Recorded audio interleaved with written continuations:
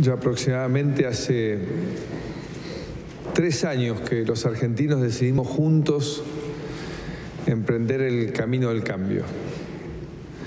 Lo hicimos porque sentimos la, necesidad de dejar atrás décadas de frustraciones, de mentiras, de sueños truncos.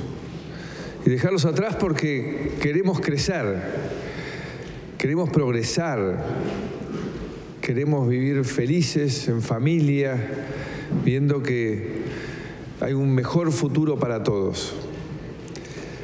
Pero también supimos desde el primer día que este no iba a ser un camino sin obstáculos, porque la vida diaria los tiene. Y claramente íbamos a tener obstáculos porque esas décadas que estamos dejando atrás generaron, por empezar, una, una mala cultura del poder, un ejercicio del poder en forma prepotente, hasta casi en forma mafiosa.